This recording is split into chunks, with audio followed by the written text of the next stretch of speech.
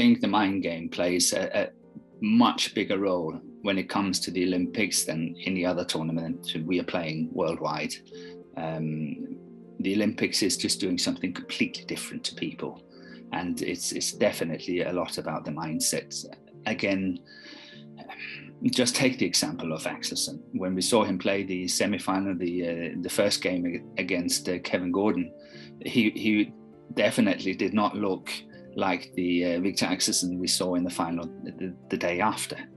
Um, just shows that uh, what expectations is doing to you, and um, and I think that will go for, for anyone in, in the tournament. Um, the players have been training so hard to get to where they are and play this tournament, and it's, it's every fourth year now. This time, it was five years, and it's it's, it's a lifetime in badminton.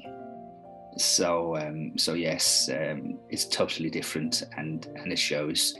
This time, I also think it's been extremely different due to the fact that there has been no social interaction. Uh, everyone one has been almost isolated on their own and wearing masks all the time, getting tested a million times, and, and so on. But totally understandable. But nevertheless, it's it's different.